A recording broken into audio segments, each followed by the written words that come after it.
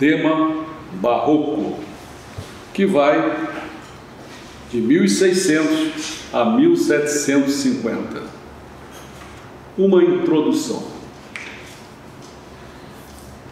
A mais antiga ópera remanescente, que é Eurídice de Jacopo Peri, é composta em honra do rei Henrique IV da França e seu casamento com Maria de Médici.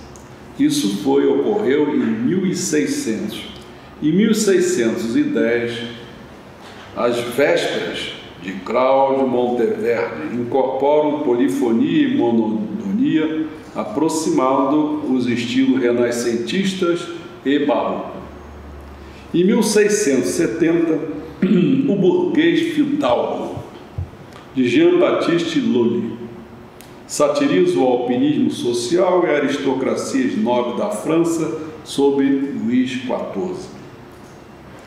Em 1689, a ópera Dido and Eneas, de Henri Purcell, narra o amor mítico entre a rainha de Cartago e o príncipe de Troia. 1690, o prelúdio para órgão. Jen Festburg ist Anser Gotte, do compositor dinamarquês alemão Dietrich Buxtehude, influencia muito o gênero coral. Isso foi feito em 1690. Né? 1714, a publicação de 12 Concerti Grossi, Op. 6, de Arcangelo Corelli, estabelece o concerto grosso como um estilo de composição. 1717 a 1723, François Couperin da famosa família Couperin de músicos, publica quatro volumes de Ordres de Cravo, em pièce de clavecin.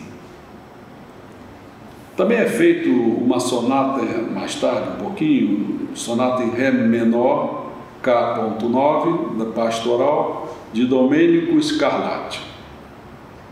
Em 1725, As Quatro Estações de Antônio Vivaldi. São publicadas com notas de programa e recebem aclamação da crítica. 1727, o oratório A Paixão segundo São Mateus, de J.S. Bach. Música, os capítulos 26 e 27 do Evangelho de Mateus. Em 1733 tivemos dois grandes acontecimentos na música.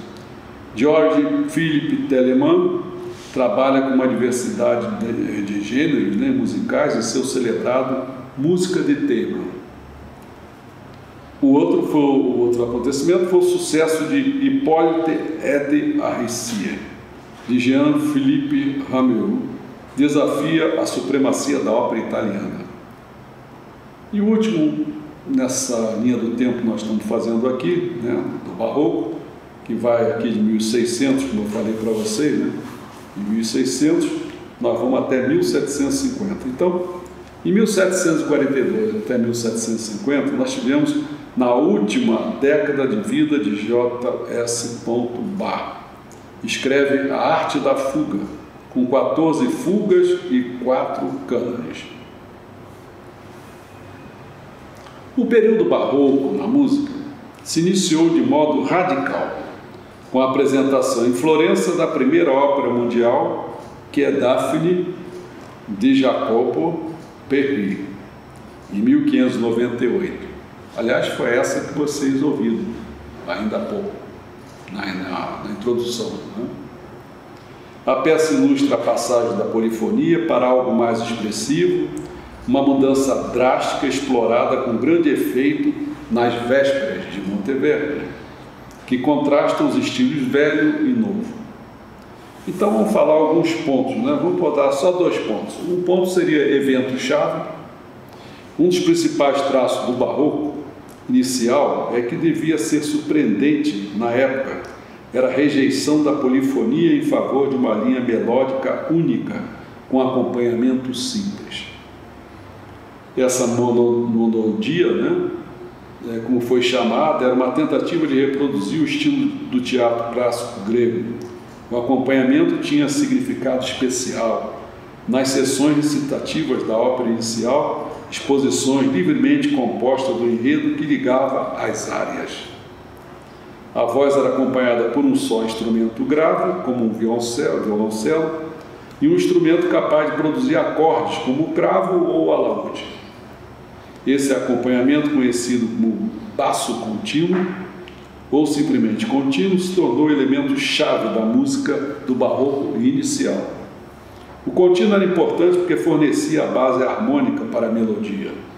A polifonia tinha caracterizado a música renascentista, já o novo estilo se definia pela harmonia. Em vez de entrelaçar melodias baseadas nos modos ou escalas gregos antigos, os compositores do barroco inicial criavam música sobre acordes maiores ou menores. Efeitos dramáticos e contrastantes eram obtidos variando a intensidade do som e o tempo, movendo a música entre escalas e instrumentos, adicionando às vezes ornamentos como os trinados. O revolucionário estilo novo e a ideia de uma peça teatral musicada se mostraram muito populares em especial nas aristocracias italiana e francesa, que empregavam músicas e um compositor residente para entretenimento nas cortes. Além de óperas, eles apresentavam música instrumental e na corte real de Versalhes, Jean-Baptiste Lully montou uma orquestra que supria música incidental e danças para a encenação das últimas comédias de autores como Molière.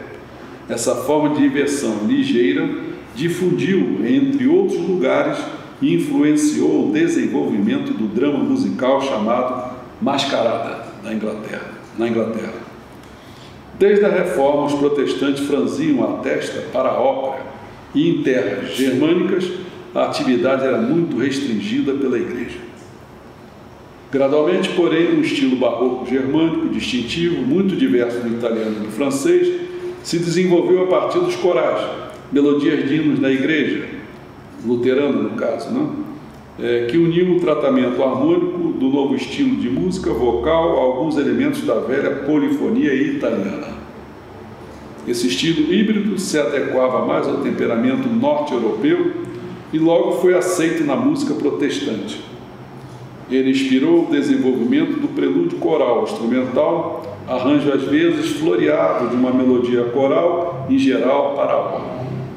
O outro ponto, que é o, o último para nós, seria o alto e baixo barroco. Com o passar do tempo, muitos elementos do barroco inicial desapareceram. Por volta de 1700 começou o período referido como Alto Barroco. O que antes era um pequeno grupo de acompanhamento para cantores de ópera ganhou a vida própria como uma orquestra de instrumentos de corda de madeira, de metal, tocando uma nova forma de música, um concerto grosso, popularizado por Arcangelo Corelli e Antônio Vivaldi. O contínuo, embora fosse a espinha dorsal da orquestra, também se tornou um conjunto de câmara independente, tocando a forma de música conhecida como sonata em trio. A própria ópera foi arrebatada, surgindo agora como música coral fora do palco, como a cantata laica e oratório sacro. Finalmente, o último parágrafo é o seguinte: o baixo barroco ele foi dominado por três compositores nascidos na Alemanha em 1685. O primeiro é Jorge Philipp Telemann. É muitas vezes ofuscado pelos outros dois, mas foi de longe o mais prolífico. O segundo, que é Georg Friedrich Handel. Foi um músico não elitista que fez nome na Inglaterra com oratórios e música orquestral. O terceiro, considerado maior dos três, foi Jean Sebastian Bach, um compositor conservador, mas artesão consumado. Durante uma vida de trabalho nas cortes e para a igreja, a música sacra e profana de Bach representou o ponto alto do período barroco.